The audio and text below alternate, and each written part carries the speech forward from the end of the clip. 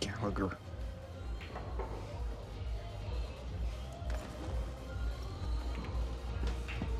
Hey, dipshits, don't leave your shit laying around for someone to steal. Morons. Who the fuck wears those man purses anyway?